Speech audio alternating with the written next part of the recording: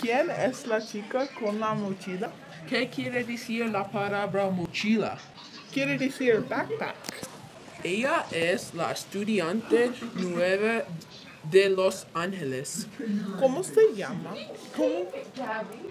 Se llama Diana y es mi amiga. Chicos, ¿cómo se dice clock en español?